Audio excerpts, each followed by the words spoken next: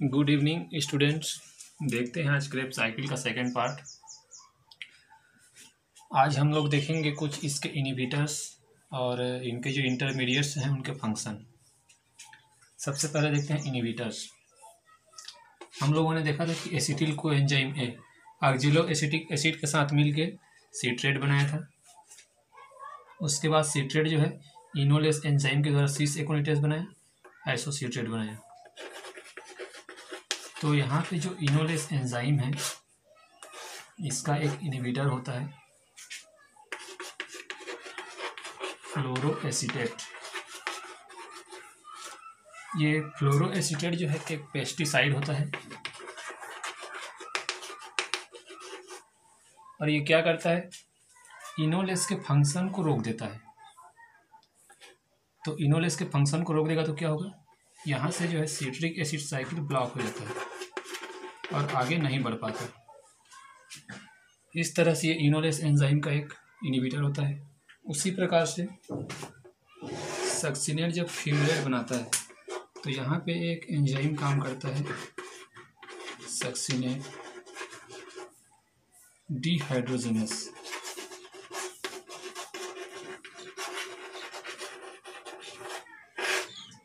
ये एंजाइम एक unique enzyme होता है, जो कि क्रेप साइकिल में भी भाग लेता है। इसके साथ साथ ETS system electron transport system में भी भाग लेता है। यही एक ऐसा एंजाइम है, जो कि माइटोकॉन्ड्रिया में पाए जाने वाले सभी प्रकार के एंजाइम से अलग है। कैसे अलग है? क्योंकि जितने भी एंजाइम होते हैं माइट्रोकॉन्ड्रिया में, वो मैट्रिक्स में पाए जाते हैं।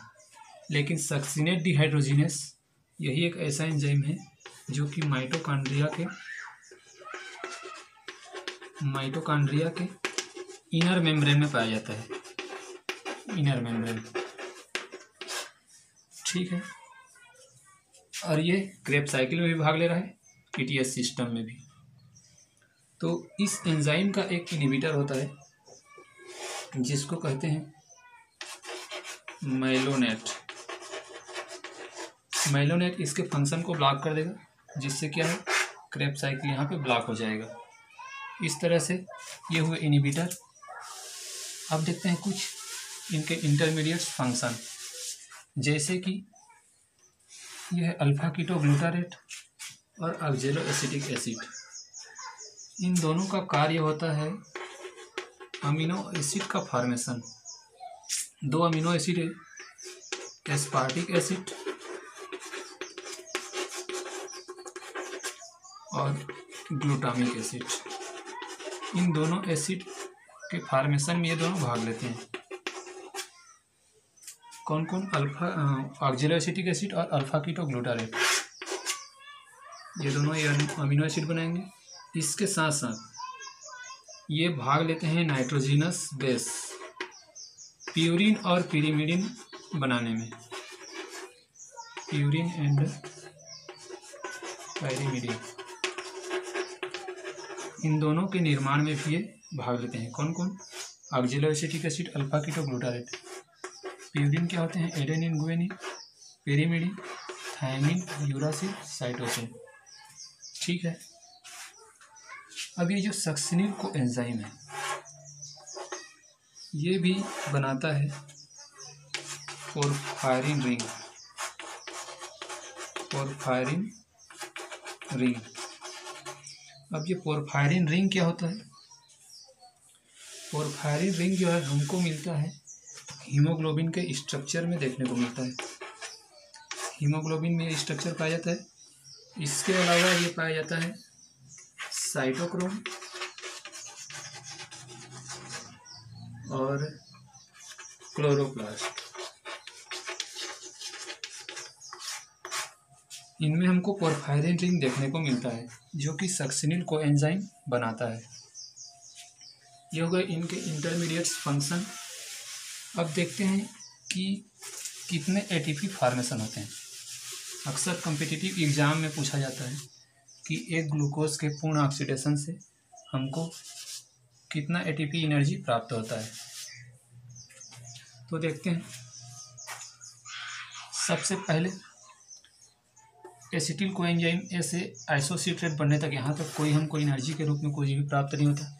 उसके बाद यहाँ पे हमको एक देखने को मिलता है N H plus H plus यहाँ एक बना था आइसोसीट्रेट से अल्फ़ा कीटो ग्लूटारेट जब बनता है। उसी प्रकार से यहाँ भी एक हमको मिला था। N A D H plus H plus ये हो गया दो। अब जब मैलेट से ऑक्जेलो एसिटिक एसिड बना था आपको मैं पिछले वीडियो में बताना भूल गया था। यहाँ भी एक बनता है N A D H plus H plus इस प्रकार से टोटल हमको एक, दो और तीन एनएडीएच मिलते हैं।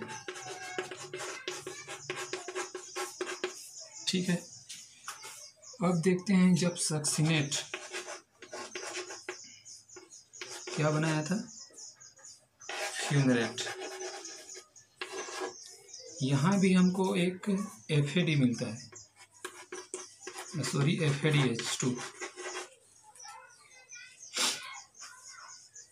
ये केवल एक मिलता है इसलिए ये हो गया एफ़ ए डी टू। अब उसके बाद सक्सिनिल को एंजाइम ऐसे जब सक्सिनेट बना था, इस यहाँ पे हमको डायरेक्ट एक ए टी पी मिला था।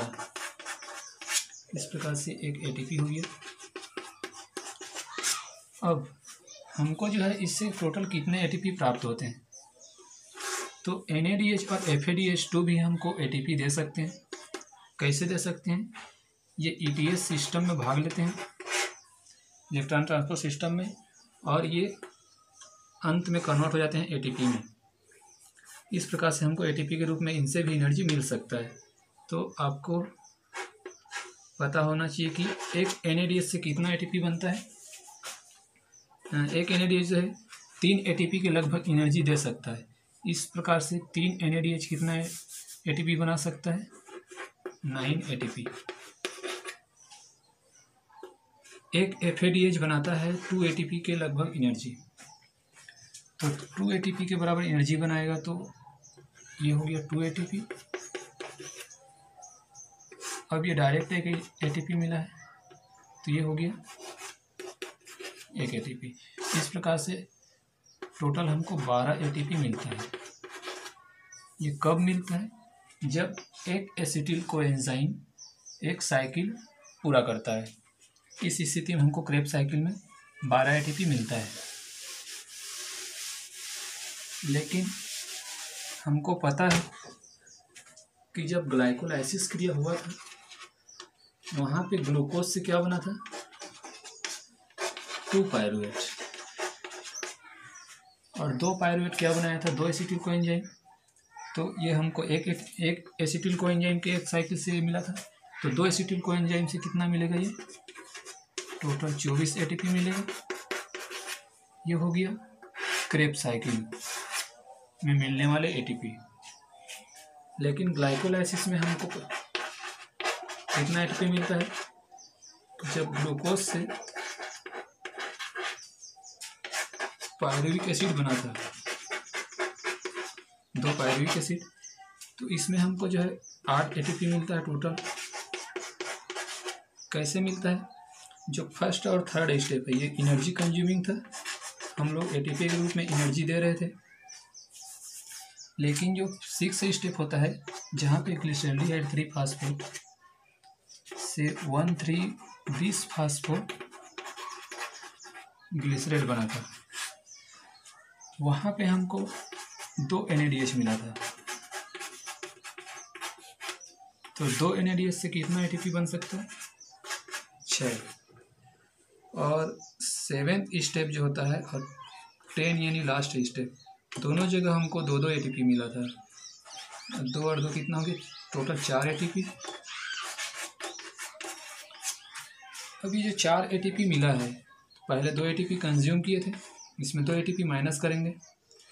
तो दो एटीपी माइनस करेंगे तो कितना बचे? दो एटीपी और ये हो गया छः ए टी पी एन से जो मिला था, इस प्रकार से छः और दो, आठ ए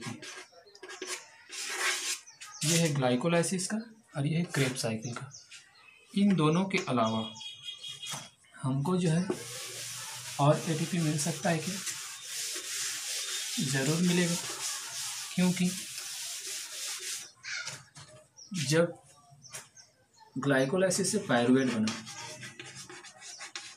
ये किससे बना था? ग्लाइकोलाइसिस से। उसके बाद acetyl coenzyme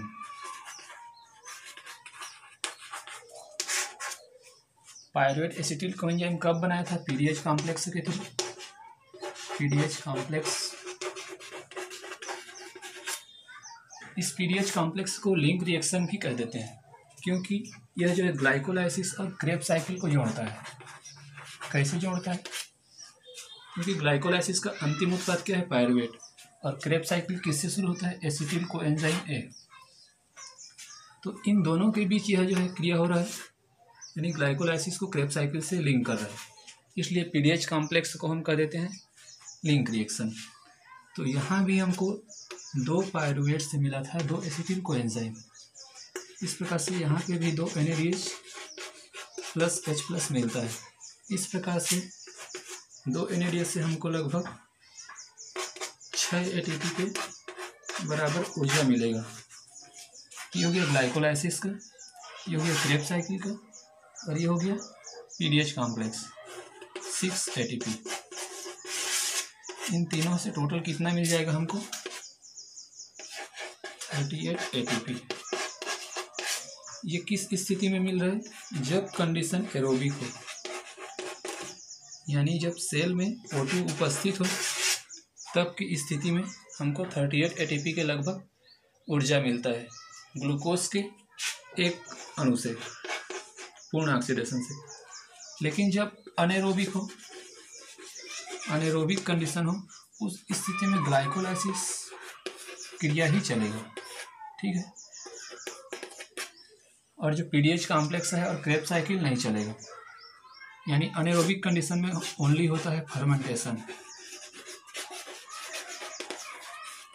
जो कि ईस्ट में चलता है। इस स्थिति में हमको कितना एनर्जी मिलेगा? ओनली एट एटीपी क्योंकि ग्लाइकोलाइसिस क्रिया ही चलेगा। ठीक है तो आज के लिए बस इतना ही।